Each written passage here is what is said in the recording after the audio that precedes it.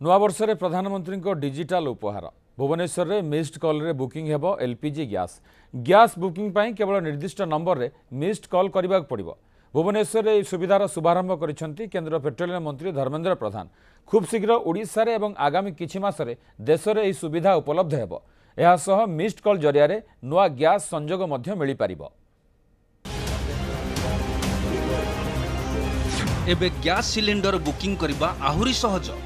Missed କଲ୍ରେ LPG gas refilling booking କରାଯାଇପାରିବ gas booking ପାଇଁ କେବଳ eight four eight five nine double five double five ନମ୍ବରରେ missed call କଲେ ଏହି ସୁବିଧା ଉପଲବ୍ଧ ହେବ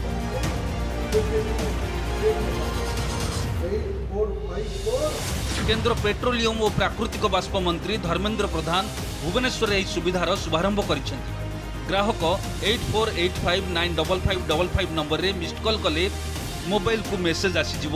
ଆଉ ଆପଣ ଜାଣିପାରିବେ ଗ୍ୟାସ୍ ବୁକିଂ ସଫଳ ହୋଇଛି। ନାଗରିକମାନଙ୍କୁ ଅଧିକା ସୁବିଧା ଦିଆଯାଉ ତାର ଲକ୍ଷ୍ୟ ସରକାରର ଅଛି। ସେହି ଶୃଙ୍ଖଳାରେ ମିସ୍ କଲ୍ ମାଧ୍ୟମରେ L P G cylinder book କରାଯାଇପାରିବ। ଗୋଟିଏ ମିସ୍ କଲ୍ କେବଳ କରିଦେଲେ ଗୋଟିଏ ଦିନ ଭିତରେ ଯେଉଁ ବିତରକ ସେ ଗ୍ରାହକର ଥିବ ସିଏ ଆସିକି ଘରେ ସିଲିଣ୍ଡର ପହଞ୍ଚାଇ ଦେବ।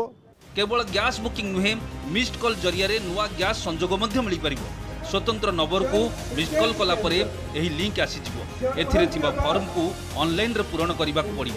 ପରେ ଏହାର ଏକ ହାର୍ଡ କପି ନିକଟସ୍ଥ ଡିଲରଙ୍କ ପାଖରେ ଦାଖଲ କରିବାକୁ ପଡ଼ିବ। ଚବିଶ ଘଣ୍ଟା ଭିତରେ ଗ୍ୟାସ୍ ସଂଯୋଗ ପାଇଁ ପ୍ରକ୍ରିୟା ଆରମ୍ଭ ହୋଇଯିବ। ଗୋଟିଏ ଦିନ ଭିତରେ